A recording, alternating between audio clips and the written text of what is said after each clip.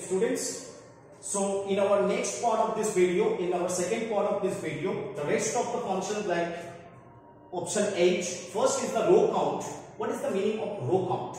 This is the read-only attribute. Attribute, you know that it's actually called a column and returns the number of rows that were affected in the execute method.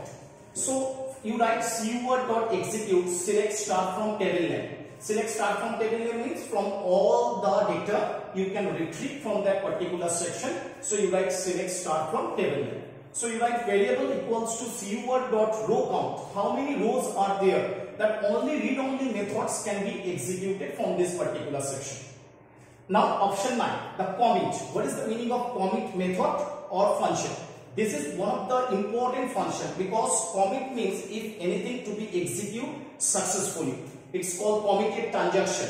This command is used to save the changes in the database. Suppose you want to update something or modify something from the database table and after this change, whatever the changes have been made in the table section, so you write for example db.commit command, db you know that it's the database name and after that you write the commit method to execute or updated something from the database section. These are the rollback, another very important comment from the transaction section.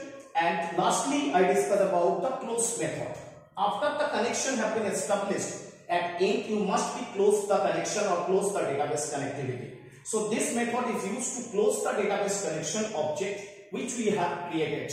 So create comment at the time you can create the table but at the end you must be close the database connection. It is the most important thing. Like in the file chapter also you see, when you can use the open function at the end you must be use the close function to close the file.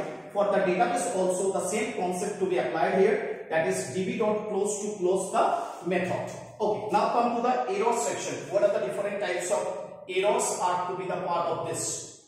These different types of errors you will be see in this particular area but you have to know about what is called interface error, database error, what are the different types of errors are to be come to this section of this particular section. Error that must exist in each database module, list of exceptions. This is actually called exception. Exception is actually what kind of error is actually throwing to you at the time of database connectivity. It is actually called the error section of this particular area. This error section you please check once but it's not so important section in this particular chapter. Not so important section. Now we come to the MySQL example of executing and handling while connecting of the database. Now I first start with the import my, MySQL. Previously I told you MyDB you write at the beginning. PyMySQL.connector connect or otherwise you can write MySQLDB.connect.connect connect dot connect. you write host equals to localhost. I think so you know that these four uh, parameters are there. After that you write keyword. You can create a cursor. That is mydb. What is the variable name you can write at the time of connectivity. So keyword equals to mydb.cursor.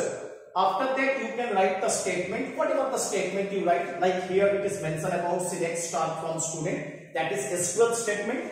After that you can write try and except. This is actually the part of this you can try is a one block is there and except is another block is there from the try block you can set some statement and except is actually catch the error. So execute you write statement.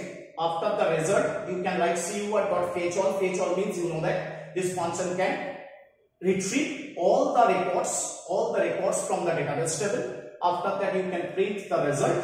And in except block you remember that try is one of the block is there except is another block is there. From there you will find out the error section of this particular section now we are actually near about to end of this particular chapter but conclusion part of this particular chapter i just remind you once you remember that this is your python application area where you can write the program where is your installation of python program you need to connect with the mysql connector and this is your database section.